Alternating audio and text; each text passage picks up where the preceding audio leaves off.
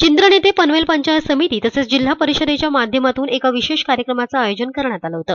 या कार्यक्रमामध्ये शेतकऱ्यांना महत्त्वपूर्ण मार्गदर्शन देखील करण्यात आलं. या कार्यक्रमामध्ये शेतकरी बंधू भगिनींची उपस्थिती होती. या प्रसंगी शेतकऱ्यांना शेतीच्या बी बियाणांचे तसेच रासायनिक खते इत्यादी गोष्टींचे वाटप करण्यात आले. या प्रसंगी उपस्थित मान्यवरांनी शेतकऱ्यांना शेती संदर्भातील मार्गदर्शन केले. तसंच शेतकऱ्यांसाठी आयोजित करण्यात येणाऱ्या कार्यक्रमांसंदर्भातील माहिती देखील यावेळेस उपस्थित मान्यवरांनी शेतकरी वर्गाला दिली. सिलिकॉन पाटील साहेबांनी सगळी माहिती सांगितलेली आहे. हे फक्त एकरी वीस किलो वापरायचं.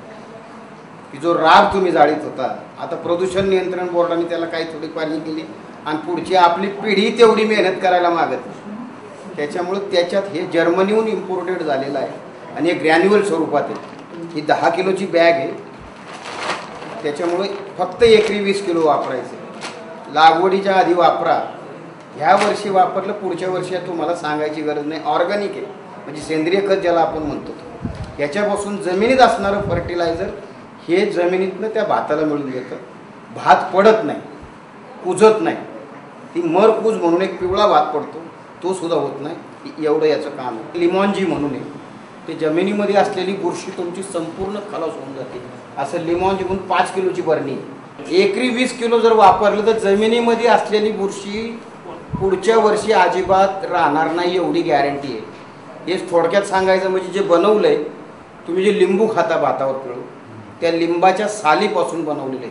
त्याच्यामध्ये याच्यात कोणताही केमिकल अंश नाही.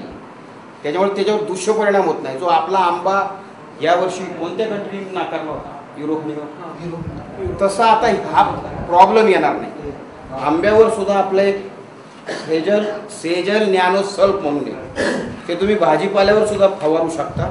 ते जर फवारलं तर त्या आंब्याला एक वेगळी चमक येते. त्याच्यामध्ये बाकीचे कोणतेही गुण दोष येत नाही. आंबाला भाटा यावर्षी सगळीकडे पाहिला मी रायगड जिल्ह्यात. तो भाटा पडत नाही म्हणजे काळा पडत नाही. आणि मोहर जो गळतो त्या मोहर गळायच्या आधी जर स्प्रे केला तर मोहर सुद्धा गळत या प्रसंगी कार्यक्रमाला उपस्थित मान्यवरांच्या हस्ते शेतकऱ्यांना शेतीसाठी लागणाऱ्या उपयुक्त बी वाटप करण्यात आले.